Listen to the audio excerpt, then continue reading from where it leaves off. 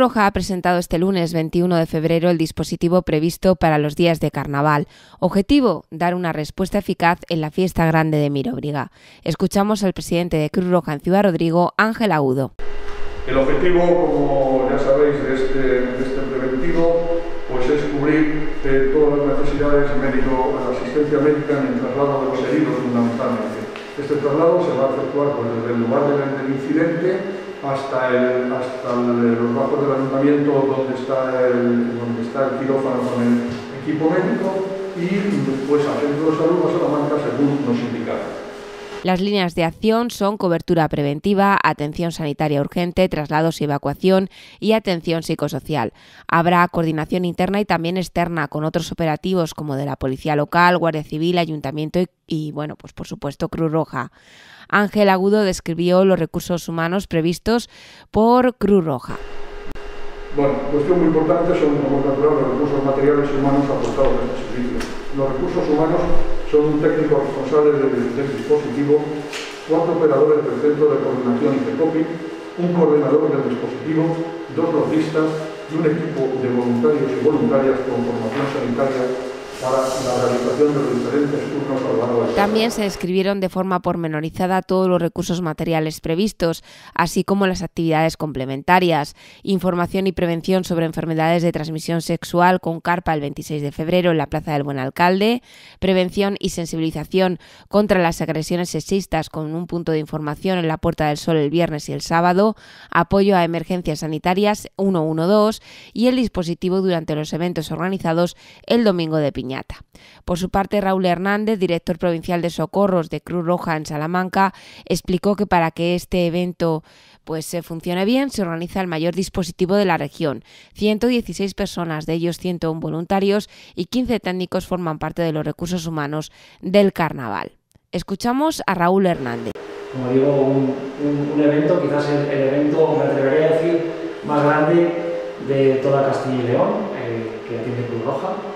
Eh, y obviamente necesitamos, como bien decía antes el presidente, mover muchísima gente. Eh, este año, eh, como bien indicamos, van a participar más de 100 voluntarios y voluntarias, no solamente de aquí de Salamanca, obviamente, sino que además nos van a, nos, nos van a acompañar desde, desde Asturias, nos van a acompañar desde Madrid, León, Soria, Segovia, Valencia, Valladolid, y Burgos. Eh, obviamente también gracias a, estas colaboraciones y a la colaboración de los recursos materiales con, equipos como ambulantes y todos terrenos que, que, obviamente con la cobertura o con el material que tenemos en, en Salamanca no, no, sería suficiente. Entonces quiero destacar y agradecer la colaboración de todas estas personas que, que, se desplazan año tras año y que, y que en su mayoría repiten. Hizo hincapié que además de los dispositivos que se ven, hay muchas personas que trabajan en el interior como coordinación, apoyo emocional, apoyo logístico a voluntarios. También recordó que estamos en época de pandemia. Para decirle a la gente que no se olvide del COVID, eh, sí que es cierto que aunque en el exterior se supone que tenemos que ir sin mascarilla, eh, cuando no se puede garantizar las medidas de distancia y seguridad, hay que llevarlo. Todos nuestros voluntarios y voluntarios van a llevar mascarilla, de forma obligatoria. Van a llevar la FP2 y vamos a procurar eh, mantener esa distancia. Entonces, bueno, muchas veces cuando nos preguntan, bueno, ¿qué consejo de esta población? Pues sobre todo, que, que respeten este tipo de cosas, que es importante, que no nos olvidemos. Todo esto yo creo que se puede hacer disfrutando también, obviamente es fiesta, es un momento festivo y hay que disfrutar, una cosa no lleva a la otra.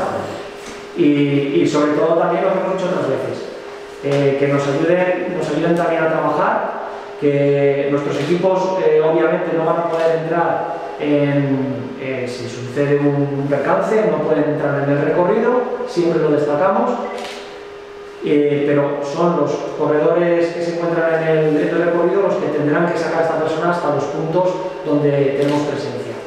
Están previstos 12 puntos de Cruz Roja a lo largo de todo el recorrido de los encierros, debidamente señalizados. Cruz Roja tendrá previsto el dispositivo del viernes 25 al miércoles 2 de marzo si se piden los cenizos.